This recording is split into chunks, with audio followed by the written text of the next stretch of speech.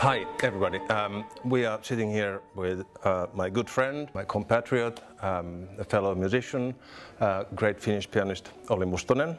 It's always such a pleasure to, to work with Olli. We, we have worked together many, many years and, and uh, you know, playing with a friend is, is always such prestige and, and, and such, a, such a wonderful thing in this profession. This kind of connection that we have, I mean, it's a lot of communication just uh, musically and, uh, and of course it has a lot to do with the fact that we know each other for a long time. But I don't think it's only that. I think if I met Hannu for the first time, and we started working on the Prokofiev, we would have the same connection. Sibelius' First Symphony is one of the best first symphonies anybody has ever composed. The first symphony is special because um, that's the only symphony where you can hear that he was influenced by somebody else. He was influenced by Berlioz, he was influenced by Tchaikovsky.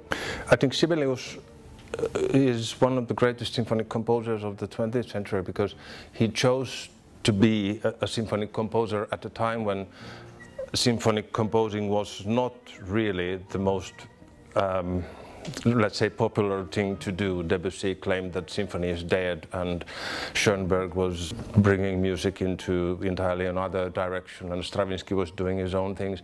Um, but Sibelius, he belongs to the old symphonic tradition, but entirely in his own way.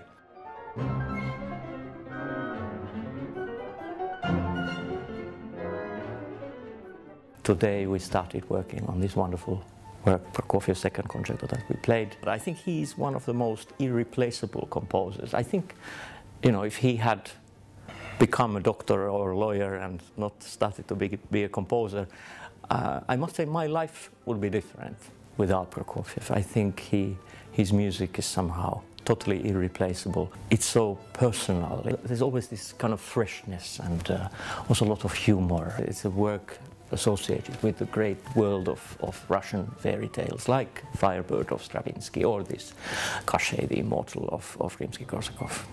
I'm very happy to bring this collaboration to Singapore and um, I hope that you will enjoy that too.